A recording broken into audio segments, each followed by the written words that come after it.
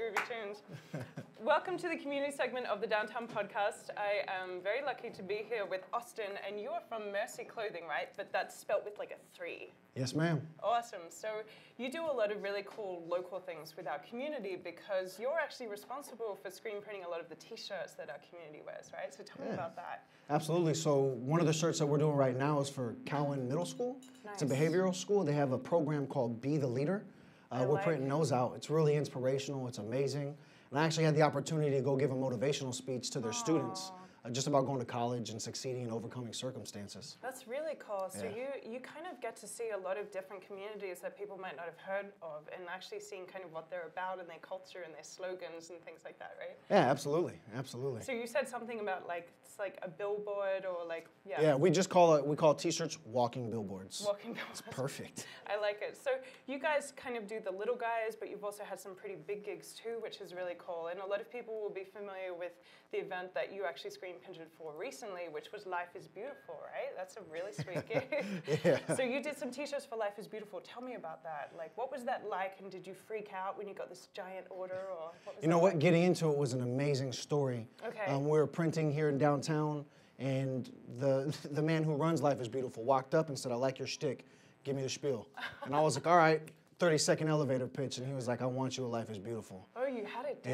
Yeah, it was awesome. And you know, we just had a huge pre-order, and we knocked them out, and it was stressful for about a week. And then when we got there, we sat back and were like, "It's just kind of a big deal, isn't it?"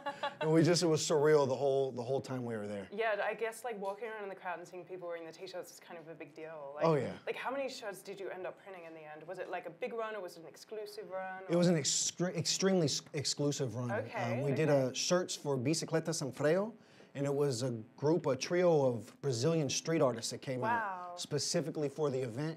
And they actually did one of the wall murals for the marketplace while we were down there. Oh, that really big blue one. Yeah, right? and it was awesome. an extremely complicated shirt. It had six colors, so when we Oh got there, we had to line the images up perfectly. But once it was all lined up, it was good to go, and it was so exclusive. I mean, the total limit was 200 for the entire event. I see how they do it. Scarcity creates luxury, that kind of thing. very, very nice. And I also heard that you guys have a booth at First Friday as well, where people can actually check out like live screen printing. Is that right? Yeah, every event that we do is live. We'll Wow, screen print our shirts live on the spot.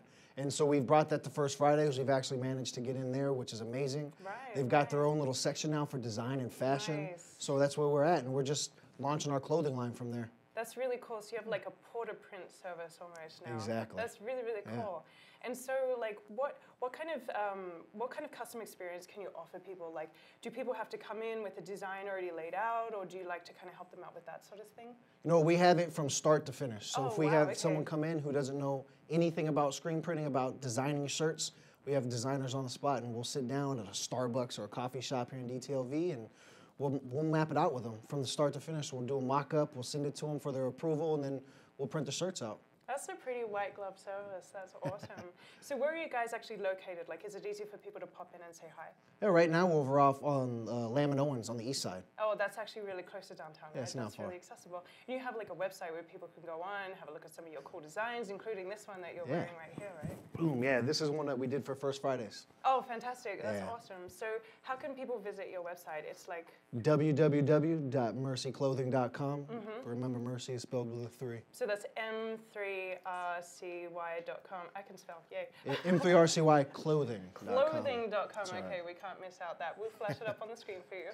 and um, I'm really excited to kind of see some of the other community partnerships that you guys have in the future. And Yeah. thank you so much for being on the show. This is Thank you. awesome. And thank, you, Downtown Podcast. Yeah. So um, don't go away. Coming up next, we have Laurie Smith, who is the creative director of Perfume Culture. She's going to be chatting with Dylan Jorgensen after these messages.